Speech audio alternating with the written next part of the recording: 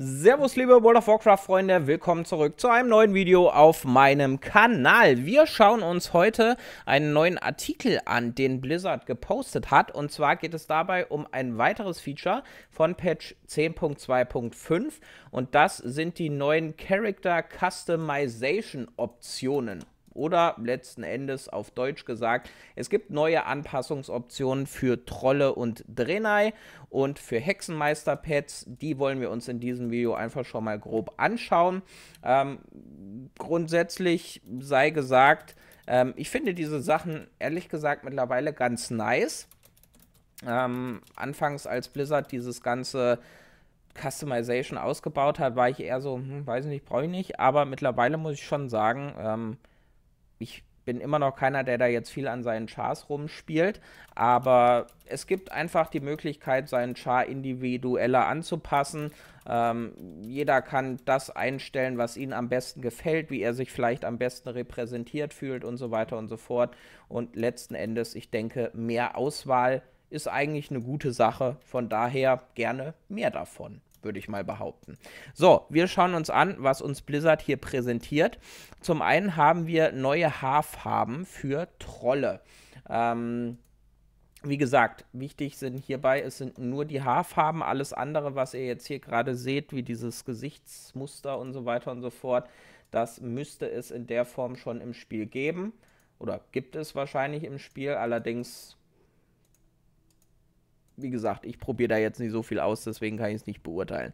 Also, wir haben einmal ein schickes Blau, wir haben einmal ein Giftgrün, dazu dann noch so ein bisschen lila. Da muss ich aber sagen, es wäre mal an der Zeit, dass sie die Texturen für die Haare anpassen, weil das sieht nicht gut aus. Ähm, dann so ein, was ist das, Gelb-Gold.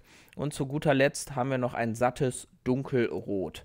Dann haben wir neue Hautfarben für die Drenai.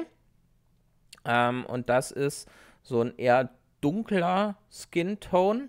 Lustig finde ich, dass sie hier im Hintergrund die, sind das nicht sogar die Trollfrisuren teilweise, ähm, auch so Pinökeln stehen haben. Das ist ganz witzig. Und dann das, was ich tatsächlich mit am geilsten finde, auch wenn ich jetzt kein äh, Hexenmeister-Main-Spieler bin, aber das sind die ganzen Customization-Optionen für die Pets.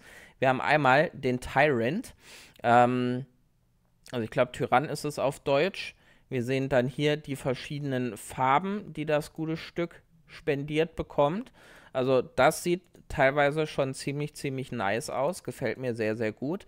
Ähm, wie man diese Sachen dann bekommt, ist tatsächlich noch nicht vollends bekannt. Also es wird wahrscheinlich so sein wie bei den Droiden, Glyphen und Reitformen, dass ihr da, weiß nicht, Rare Mobs looten müsst und keine Ahnung.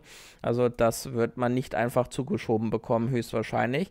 Und dann haben wir noch den Dark Glare. Also dieses Auge.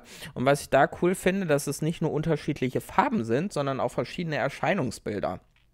Also hier haben wir den ähm, grimmig guckenden Dude mit einem Auge und einem leichten Überbiss in weiß, in lila, in, was ist das, grün, grau, braun und dann haben wir hier ja, so einen Blauton.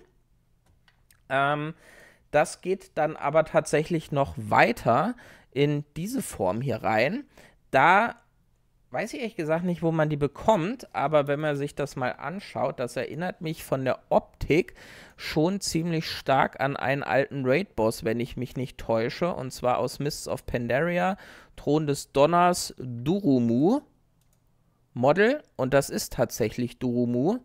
Also wenn ihr euch den Dude jetzt hier anguckt, ja, hör mal auf, dich zu bewegen, please, brother. Ähm, wenn ihr euch das mal anschaut und das Model bis auf Abweichungen in der Farbe ist es, hat es nicht sogar dieselbe Farbe? Ne? Es ist sogar, glaube ich, derselbe Farbton. Also dementsprechend könnte ich mir stark vorstellen, dass man dieses Model bekommt, wenn man Duomu tötet. Ähm, kleiner Tipp. Können wir uns dann aber auch nochmal anschauen, wenn es soweit ist. Und dann haben wir hier noch einen grimmig aussehenden Dude mit insgesamt sieben Augen und noch mehr Zehen und Tentakeln. Also hier wurde alles da hat der Blizzard-Praktikant den Regler für Augen, Zähne, Tentakel auf Max gedreht und Abfahrt.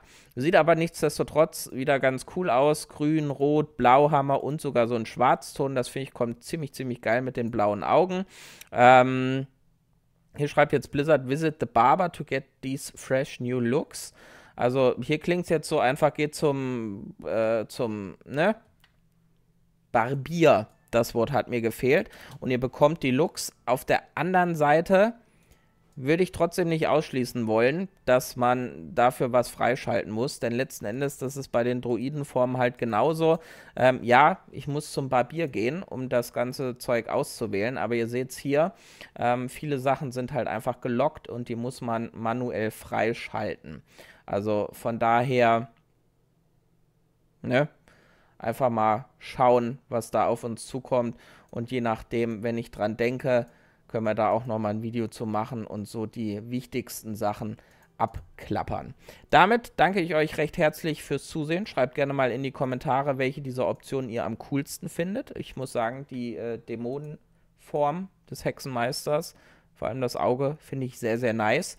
Ähm, bis zum nächsten Video. Habt eine gute Zeit. Reingehauen.